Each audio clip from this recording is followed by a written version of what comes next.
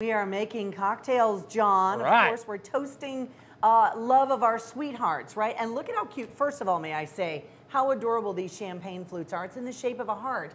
I have never seen that before. That is so cute. And of course, everybody wants to make Valentine's Day special. So we're mixing th- things up with our spirit specialist, Dustin Paris, to raise your glass for Valentine's Day, concocting a special little Valentine's libation using Rebel Yell whiskey, right? You bet. We brought out a really nice wheated bourbon to make this cocktail with today. So- Now, now you're hearing bourbon and you think it's kind of a strong drink and uh, give me it on the rocks or neat, but this has bourbon in it. You couldn't tell by looking at it. Nope, and it plays really well. You know, bourbon's not just a, a man's drink in a glass anymore. It's great for making cocktails, and it's going to be perfect for making something special for your special loved one this fall. All right, what is that pretty little thing and how Um, can we make it? Well, what we did is we'll go ahead and make one right now. Mm-hmm. Uh, I'm going to start with a ounce of my Rebel Yell bourbon. All right, I chose Rebel Yell again because of that wheated profile. It's going to play really well. sniff. Go ahead. There you go. Be a nice and sniff, not a sip. So there you go. Uh, we have some Luxardo cherry juice.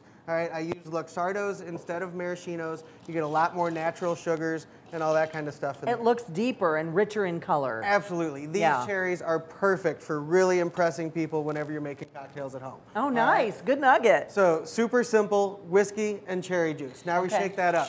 Whenever I shake, you always make sure the cocktail hits the bottom and the top of the shaker. And you always dance. There you go. You got to get Okay. it just right. So then we get that done.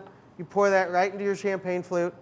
You get that great Valentine's Day color off that cherry juice, I'm gonna put a everything. cherry in there, but There you you got to go. top it off, don't you? Perfect. And for topping it off, we chose Prosecco. That's become very popular, hasn't it Yes, Prosecco's great. It's great for sipping. It's great for mixing. It's because Proseccos are going to be your sweeter champagnes, all right, or your sweeter sparkling wines. They're from Italy. They pack in a lot more of that sweet, fruity flavors. Yeah. So I see a lot of that at bridal showers. Now, do I put the little just drop it in? right in there. How pretty is that? Those those Bam. flutes are just so darn cute. You bet. It goes right to the bottom. It activates the bubbles. It keeps everything looking nice and sweet.